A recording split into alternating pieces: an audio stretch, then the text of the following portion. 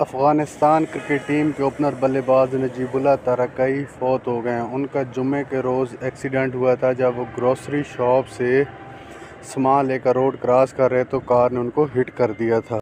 नजीबुल्ला तरकई अफ़गानिस्तान की जानब से एक वनडे और बारह टी ट्वेंटी खेल चुके हैं। मज़ीद वीडियोज़ के लिए हमारे चैनल को सब्सक्राइब कर दें, वीडियो को लाइक कर दें और बेल आइकॉन को दबा दें ताकि आपको हर खबर बर वक्त मिल सके।